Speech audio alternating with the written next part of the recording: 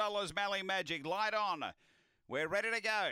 Race four at Angle Park. Set to run. Racing, Sunset Toxic out well, is going to burn through and be the lead. Moving up boldly, Show Me Bucks going to the first bend, but Sunset Toxic sailing through on the fence, got a length and a half to two clear. Uh, back last, Mally Magic. Around the outside is Aston Zeeble to a clear second. Then Occipital Eyes behind those Show Me Bucks. Then Express Speed and Mally Magic out the back, but it's Sunset Toxic out the front and rolling beautifully. Clear of Aston Zeeble, and then came Occipital Eyes, but Sunset Toxic racing in huge form and goes on to win well. So Sunset Toxic beats Aston Zeeble, Occipital Eyes, Mally Magic got going when it was all done. Uh, then Show Me Bucks at Express Speed. Uh, the time here 30 and 44, three in a row for Sunset Toxic. It's one, four, three, and two.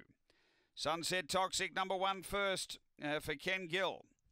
Second, going the way of four, which is uh, Aston Zeeble for Dave Peckham and third to three occipital eyes for Lisa Rasmussen.